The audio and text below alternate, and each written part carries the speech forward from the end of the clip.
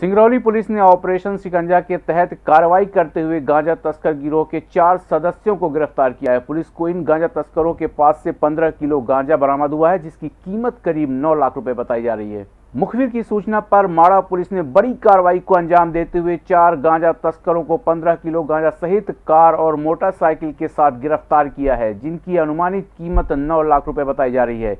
गौरतलब है कि माड़ा थाना पुलिस द्वारा क्षेत्र में जुर्म और अवैध कारोबार को खत्म करने के लिए लगातार क्षेत्र में ऑपरेशन सिंगंजा चलाया जा रहा है।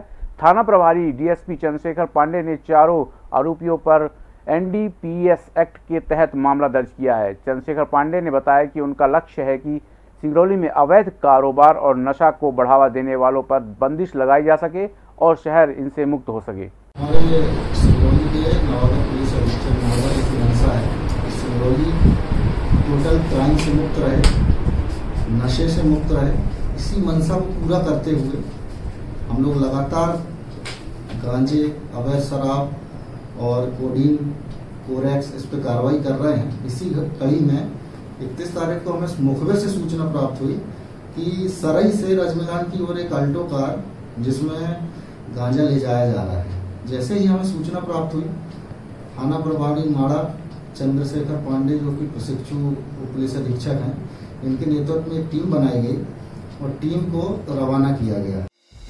संगीत की स्वर लहरियों से सांस्कृतिक ताने बाने तक चंबल के पीड़ों से नक्सलवादियों के गढ़ तक झोपड़ी से महलों तक ठेलों से मेलों तक पगडंडियों से सड़कों तक गाँव से शहरों तक व्यापार से उद्योगों तक राजनीति से कूटनीति तक। दखल न्यूज़। आपके हक